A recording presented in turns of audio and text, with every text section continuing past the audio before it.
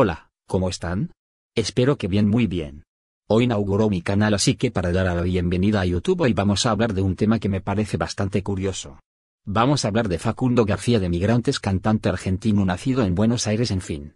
Como todos sabemos él canta desde el 2014 y sube canciones a YouTube lo cual un día por arte de magia sube una canción titulada así, Me tomo una cerveza que hoy en día tiene más de 100 millones de vistas pero ¿qué tiene que ver esto?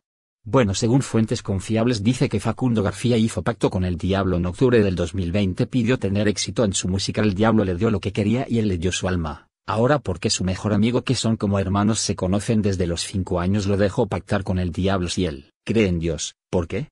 Eso nunca lo sabremos. En 2021 mitad de año se le vence el contrato con el Diablo y Facundo dice pactar de nuevo antes de lanzar su nuevo tema Noche de Party. Bueno, él pidió volver a tener el mismo éxito de cuando pactó la primera vez. O sea, Facundo de Migrantes ya no tiene alma, la tiene el Diablo. ¿Qué piensas de esto?